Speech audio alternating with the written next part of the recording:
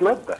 فيعني يجب أن تنظر إلى ال- الأمر بمعناه وبمخرجاته خاصة وتأثيره على الحياة السياسية وعلى العمل داخل البرلمان وفق منظومة ديمقراطية حقيقية.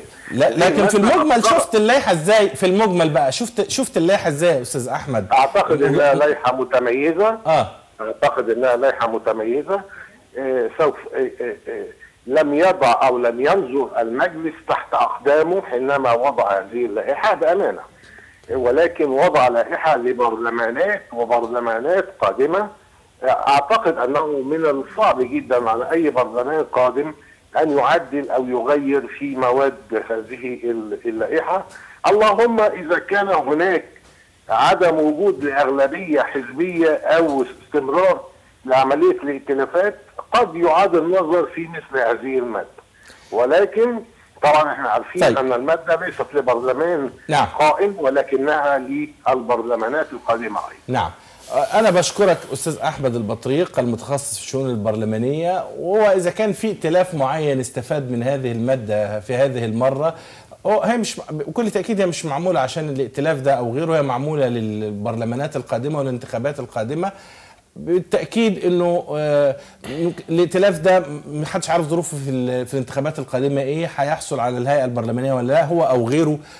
دي حاجة معمولة لل- للأجيال القادمة ولا إيه رأيك يا سياده النائب؟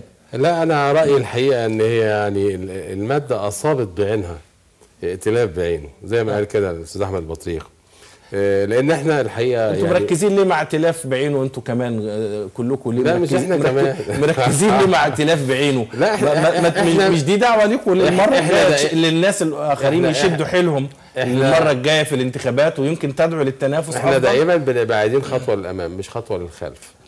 فأنا لما لما اللجنة تجيب لي آه، المادة وبتقول إن 20% و20% ده كنا إحنا مش مستحسنينه يعني كنا بنقول كتير. آه، زي ما قال كده الأستاذ أحمد البطريق 15% ال- ال- العدد المناسب. ليه بقى؟ لأن 15% من عدد ال 690 نائب. وكنا عايزين نحط حد أقصى يا أستاذ يا دكتور علي حد أقصى. يعني ما يبقاش في حد أدنى؟ يا دكتور علي. أصل إحنا ما بس ناقشنا طب سي سي هي 25 إحنا بس هي ناقشنا 25% الائتلافات دي كتير قوي. هي خدت وقت هي حتة أخيرة عشان ما نتكلمش فيها واضح. إن أنتوا خدتوا فيها وقت كتير في المجلس إحنا خدنا وقت كتير. الحلقة آه. برضه فيها. لا لا خلاص مش هنتكلم فيها. إحنا كنا بس كنا نتمنى إن يتحط لها حد أقصى الائتلاف. يعني ما يبقاش مفتوح كده لحد ما يوصل 400 ومش عارف إيه وكده لا. عشان يدي فرصة لوجود ائتلافات تانية يعني. أما بالنسبة لمجلس الدولة قصه مجلس الدولة وقصه إن إحنا نبعت القوانين لمجلس الدولة ومسابه مفتوحة الحقيقة يمكن اللائحة اللي حددت الزمن نفسه.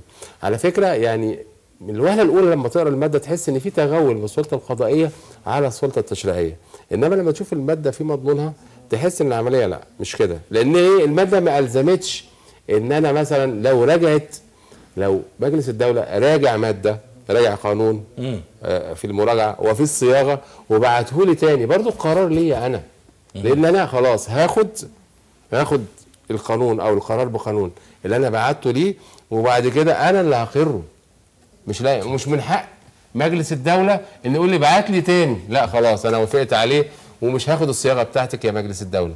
عشان كده أنا شايف إن مفيش تغول من السلطة القضائية على السلطة التشريعية. زائد بقى الحتة اللي هي اللي كان مش سا- مش سابع على المشاع الزمن الفترة الزمنية إحنا حددناها في اللائحة الداخلية للمجلس ب 30 يوم على الحد الأقصى ويمكن في مواد تانية للاستعجال على قوانين سياده بعينها. المستشار نور لسه عايز تعلق في النقطة دي ولا ننقل لحاجة أخرى علشان الوقت؟ لا عشان الوقت طبعا بس هو التعليق على التقرير برضه كان فيه اتكلم على الحتة بتاعت إلزامية الحكومة بتقديم البرنامج خلال 20 يوم. مم. وأنا مش مش لاقي لها أي أساس دستوري لأن المادة 111 من اللائحة القديمة كانت تتحدث عن دستور 71 الذي أوجب على الحكومة عرض ال- البرنامج خلال 60 يوم مم. إنما المادة 146 لم توجب على الحكومة أي مدة زمنية معينة يبقى ده إما أن يكون ميعاد تنظيمي لا قيمة له وتستطيع الحكومة أن تضرب به عرض الحائط لأن مفيش إلزامية دستورية عليها عكس ما كان في 71 لأن لو ما كانش حط البرنامج خلال 60 يوم كان ممكن الحكومة تحل. الجزئية الثانية ال 30 يوم اللي موجودة في المادة 146 بتلزم البرلمان مش الحكومة. تلزم البرلمان إن هو يناقش ويوافق على برنامج الحكومة خلال 30 يوم. دي بس من 60 بعض يوم. الملاحظات. 60 يوم. 30 يوم الأولى وبعد كده يشكل حكومته وبعد كده 30 يوم تاني. بتكلم على. الحكومة الحالية. آه، خلاص. يعني المده الزمنية كلها 30 في 30 آه 60 كلها يوم. 60 يوم. 60 آه يوم. ولكن أنا عايز أضيف يا أنا بتحدث عن الجزئيه بتاعت الايه انت- أنت إزاي آه. إيه إيه هي إيه هو السند الدستوري لإلزام الحكومة؟ أن تقوم بتقديم البرنامج خلال 20 يوم. لا يوجد طيب. أي نص دستوري يلزم الحكومة بهذا أنا أنا ولكن أنا عندي أدوات. ما- لا أنا عندي أدوات يا دكتور علي. اتفضل. لو الحكومة ما جاتش ليا لأن ما فيش نص فعلا دستوري. مم. يلزم الحكومة إنها تجيلي بعد شهر أو شهرين أو ثلاثة ممكن تقعد ست شهور. ولكن أنا عندي آلية آلية سحب الثقة من الحكومة. مع يعني السلامة حكومتك وهعمل حكومة أنا بقى ما تسحب الثقه لو لازم- عليك. آه وهعمل حكومه لو أنا. اتأخرت عليك. بالظبط كده عندي آلية عندك آلية لا أخرى بس أنا. عاوز اوضح سحب بس. من الحكومة. طب ما عنده آلية لا عاوز اوضح. يعني أكتر أهمية من المواعيد بالظبط طب- أوضح عشان. كده إيه هي اللي هتيجي هي اللي هتجي لا لي جري فندم، الموضوع آه علشان ما تزعلش منها الموضوع في لبس. بس الموضوع في لبس اتفضل يا المستشار هنقول. فرضا سي دلوقتي دي حكومة انتقالية أو حكومة مؤقتة ماشي ما تتكلمش عن الحكومة بعينها إحنا ما بنتكلم على على الوضع الحالي طالما طالما طالما طلع قرار بحل الحكومة وتشكيل حكومة جديدة الحكومة اللي بتمارس هذا العمل حكومة مؤقتة وليست حكومة برلمانية تم مو- الموافقه على البرنامج بتاعها. فالحكومة المؤقتة كده كده مش هي الحكومة اللي بتقدم برنامجها. ده انت بتتكلم على حكومة مستقبلية لسه. لما تمنحها الثقة بالموافقه على البرنامج تبدأ تمارس عملها. فازاي هتسحب ثقة من حكومة مؤقتة؟ بقى لا يا فندم أنا أنا بتكلم على الحكومة الحالية لا أنا بتكلم على دلوقتي ما الدستور لم يلزم الحكومة الحالية إنها تجيلي يا- خلال شهر يا معلم أو أنا- شهرين أنا فاهم. أو ثلاثة ولكن هو- أنا بس يعني يا- دكتور بيتكلم في حتة ثانية النائب، أنا. بس عايز اكد على حاجة آه. إحنا ما بنتكلمش إحنا في البرنامج مش بنتكلم على حد حالي أو حد سابق إحنا. بنتكلم على المبدأ المبدأ المبدأ بتاع نفسه. الص- آه. بالظبط كده لا حد حالي ولا حد قادم يعني ولا حد اتفضل. لا سابق ده ده الحتة دي إحنا بنتكلم على ماده في الدستور آه بالظبط الدستور ما حددش بس خلاص طيب أنا بس عايز اسال بدل فتحت المو... سألت المواعيد آه، آه، مساله الجلسات العامة ثلاث أيام في الأسبوع وما تمش الموافقة على زيادتها أكتر من كده. رغم إنه إحنا هذا البرلمان معلوم إنه عليه عبء ثقيل من القوانين المطلوبة. شايف إنه الثلاث أيام دول هيبقوا كفاية ولا كان المفروض نخليهم أربعة علشان العبء الثقيل ده؟ أو أنا عارف طبعا لازم يدوا فرصة تاني لراحة الأعضاء وللجلسات ال- المتخصصة وخلافه. هو طبعا الأعضاء ما بيريحوش ولا حاجة لأن المطبخ التشريعي الحقيقي هو اللجان النوعية داخل البرلمان. مم. ليس معنى إن الجلسة العامة ثلاث أيام في الأسبوع أو حتى يومين إن الم- المجلس قاعد نايم لا بالعكس ده المجلس خليه نحل. أنت بس بتشوف في الجلسة العامة بس ال- الايه الفينش النهائي. إنما المطبخ التشريعي والشغل كله بقى داخل اللجان مم. ممكن النائب يقعد في اللجنة 24 ساعة يناقش أمر معين ويفضل يصبر فيه ويصيغ فيه ويراجع فيه ويجيب مراجعه ويجيب الخبراء عشان يوصل في النهاية للشكل اللي انت بتشوفه داخل قبة البرلمان مم. ويمكن يوافقني سيادة النائب في حاجة زي كده فمسألة الإذاعة أو إذاعة الجلسات ده مجرد بس العلنية طيب عشان هو طالما الموضوع كده يا سيادة النائب ليه كان مطروح زيادتها و... الحقيقة يا دكتور علي إحنا آه، بعض النواب الآخرين طلبوا من الدكتور علي عبد العال إن الجلسات تبقى أربع أيام في الأسبوع ويبقى أسبوع وأسبوع. آه. فطبعا الحقيقة يعني أنا من خلال هذا المنبر بشكر الدكتور علي بصراحة قايم بمجهود غير عادي الحقيقة وراجل عنده صبر وجلد غير طبيعيين.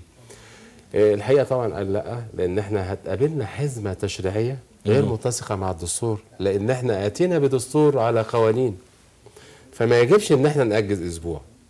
وما يجبش إن أنا أرهق النواب وأقول أربع أيام إحنا هنخليهم ثلاث أيام في الأسبوع. وزي ما قال كده الدكتور نور إن في 25 لجنة. كل لجنة هت هيبقى وظيفتها حزمة تشريعية خاصة بعملها هي تعيد عملية الصيغة كلغة والاتساق بالدستور. فهيبقى عندنا شغل فعلا زي خلية النحل طيب. ونبدأ بقى إيه آه. يعني أنا أنا بعتبر اللجان دي هي المطبخ وبعتبر الجلسة العامة هي المشهد الأخير اللي بنحط منظر خلاص على طاولته النقطة واضحة بس أنا النصوص بقى الأخيرة عندي دقيقة ونص عايز أتكلم فيهم على اللجان اللي زادت آه. آه زادوا كام لجنة؟ الحقيقة إحنا كنا 19 لجنة تسعة كنا 19 لجنة مم. آه، بقينا 25 لجنة مم. فمعنى كده إن زاد ستة لجان. ست لجان. آه، وما زادوش ستة لجان بعينهم يعني. مم. الحقيقة في لجان مثلا الطاقة والصناعة بقت في لجنة الطاقة ولجنة الص- الصناعة. الإعلام بقى له لجنة لوحده؟ آه الإعلام بقى له لجنة لوحده. السياحة بقت لها لجنة لوحديها. يعني مزود ما ما يعني ما فيش لجان بقوا آه، 25 استجدت. كده كلهم؟ 25 لجنة. حتى يمكن اللجنة اللي كانت جديدة اللي اسمها النزاهة والشفافية آه. تم رفضها من قبل المجلس. طيب. فأنا شايف إن يعني يعني ن- عدد العدد اللي زاد اللي هو وصل ل 25 أنا شايف إن هو يعني ظاهرة صحية, صحية. وخاصة إن إحنا برضو إيه يعني هيبقى عندنا مشاكل أ- أ- عايز آخد بس جملة آه، من الدكتور علي نور عشان الوقت. خلص تقريبا اتفضل، خلص. إ- إ- زيادة اللجان بالعدد ده أو عدد اللجان ده مناسب لبرلمان زي البرلمان مصر لا هو في الطبيعي المفروض الاقتصاد في عد اللجان بس مع عدد الأعضاء اللي موجودة في المجلس عندنا وصل 600 عضو فأعتقد إن هو متماشي مع المعايير العالمية. فرنسا فيها 20 لجنة وفي بعض الدول الاخرى لو قسناها بعد السكان هتلاقي برضك متماشية مع عدد كمان لما بيزيد عدد اللجان الدراسة بتبقى أقوى. أقوى بس لأنه بوزع العبء على لجان. بالظبط كده. بس هي الإشكالية الوحيدة لما أجي آخد بقى الرأي العام في الجلسة العامه بيبقى جزر منعزله عن بعضها شوية. بس عشان كده بقول الائتلافات وعايز أقول بس عايز انوه عن حتة بسيطة إن إحنا غرفتين تشريعتين في غرفة واحدة. إحنا 600 أها. كتير. فيعني كان شيء طبيعي إن إحنا نزود اللجان طيب شيء طبيعي. يعني هي حاجة كويسة. آه. أنا ينتهي الوقت ولا ينتهي الجدل. أنا بشكركم شكرا جزيلا. سيادة النائب عاطف مخاليف عضو مجلس النواب وعضو الهيئة العليا لحزب المصريين الأحرار. شكرا جزيلا. بشكرك يا دكتور وأنا سعيد إن أنا ببقى موجود معاك الحقيقة لأن أنت بتسري الحديث قوي بصراحة. شكرا يا فندم. كتر خيرك. كما أشكر آه، سيادة المستشار نور علي الفقيه القانوني. شكرا جزيلا. عفوا يا فندم. وأنا ببقى احاول اكون معبر عن كل زمايلي اللي شغالين في البرنامج من اول المعد والرئيس التحرير وال وخاصة ما وراء المخرج والمصورين والجميع أنا بشكرك شكرا جزيلا. بس حبيت اديهم حقهم لأن الشكر ما يكونش ليا الشكر ليهم هم. وحتى نلتقي بحضراتكم. لكم كل التحية من أسرة فريق البرنامج وإلى اللقاء.